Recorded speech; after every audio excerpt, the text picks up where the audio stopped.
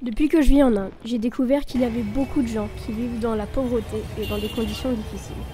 Mais souvent, il suffit d'un regard, d'un sourire ou d'une phrase pour redonner espoir.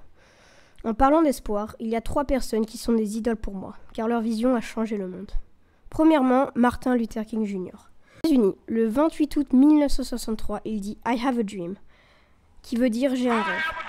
Pour moi, cette phrase veut dire que même si on est différent, on a le droit d'avoir un rêve et que rien n'est impossible. La seconde idole que j'admire est Nelson Mandela. En 2001, il dit It always seems impossible until it's done, qui veut dire cela semble toujours impossible jusqu'à ce qu'on le fasse. Pour moi, cette phrase est extrêmement inspirante, car cela montre que même tes rêves les plus fous seront toujours possibles. Une phrase qui a d'ailleurs touché toute la planète. En parlant de planète, Aujourd'hui, il y a une personne qui est ma troisième idole et qui inspire beaucoup de gens. C'est Greta Thunberg. Elle est suédoise, n'a que 17 ans et depuis qu'elle a 15 ans, elle se bat pour notre planète. Greta Thunberg m'inspire pour ce qu'elle dit, mais aussi pour ce qu'elle fait. Dans un de ses discours, elle prononce le How dare you, qui veut dire comment osez-vous, en questionnant les politiques, car depuis 2018, elle ne fait qu'agir pour nous sauver, pour sauver notre planète.